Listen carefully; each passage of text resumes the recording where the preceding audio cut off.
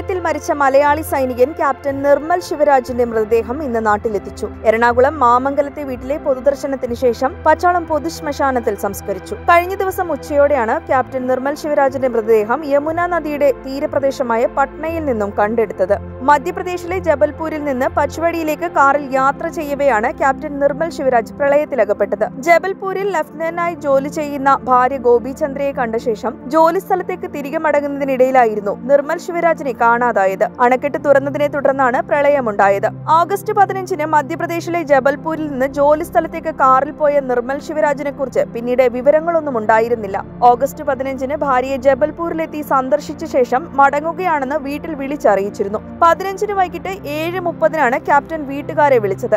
ജോലി സ്ഥലത്തേക്ക് എത്താൻ എൺപത്തി അഞ്ച് കിലോമീറ്റർ കൂടിയുണ്ടെന്നും മഴ കാരണം റോഡിൽ തടസ്സങ്ങളുണ്ടെന്നുമാണ് പറഞ്ഞത്. റോഡിൽ തടസ്സമുള്ളതിനാൽ വഴിമാറിയാണ് സഞ്ചരിക്കുന്നതെന്നും പറഞ്ഞു. ഇതിനുശേഷം ഒരു വിവരവും ലഭിച്ചിട്ടില്ല. വാഹനത്തിലെ ജി പി എസും വീട്ടുകാരുമായി ഷെയർ ചെയ്തിരുന്നു. നർമ്മദാപുരത്തെ ബെച്ച്വാര ഗ്രാമത്തിലാണ് നിർമ്മലിന്റെ ഫോണിന്റെ അവസാന ടവർ ലൊക്കേഷൻ ഇതിന്റെ അടിസ്ഥാനത്തിൽ പ്രദേശത്ത് നടത്തിയ തിരച്ചിലിൽ നിർമ്മൽ സഞ്ചരിച്ച കാർ കണ്ടെത്തിയിരുന്നു. തകർന്ന നിലയിലാണ് കാർ കണ്ടെത്തിയത്. തുടർന്ന് നടത്തിയ തിരച്ചിലിൽ കാർ കണ്ടെത്തിയ സ്ഥലത്ത് നിന്ന് ഒരു കിലോമീറ്റർ മാറി മൃതദേഹവും കണ്ടെത്തി.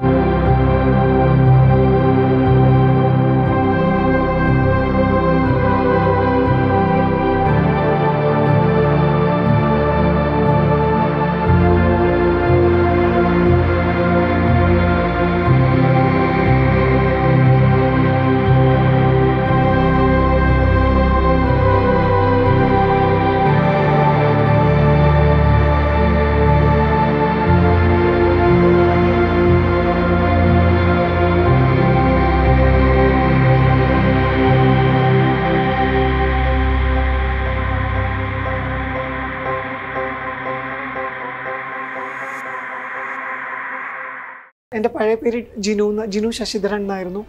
അപ്പൊ ഡോക്ടർ ജിനുവിനെ എല്ലാവർക്കും ഇവിടെ ഇഷ്ടമായിരുന്നു ഡോക്ടർ ജിനു എങ്ങനെയാണ് ജീവിച്ചതെന്നും ഡോക്ടർ പ്രിയ ഇപ്പൊ എങ്ങനെയാണ് ജീവിക്കുന്നതെന്നുള്ളതും ഒരു കമ്പാരിറ്റീവ് സ്റ്റഡി എപ്പോഴും ഞാൻ നടത്തും. അമ്മ ഇങ്ങനെ പെൺ പെൺകുട്ടികളെ ആലോചിച്ച് ആലോചിച്ച് വന്നപ്പോൾ ഞാൻ പറഞ്ഞു അമ്മ എനിക്ക് എനിക്ക് പെൺകുട്ടികളെ ആലോചിക്കുന്നതിന് പകരം എന്നെ ഒരു പെൺകുട്ടിയാക്കാൻ നോക്ക്.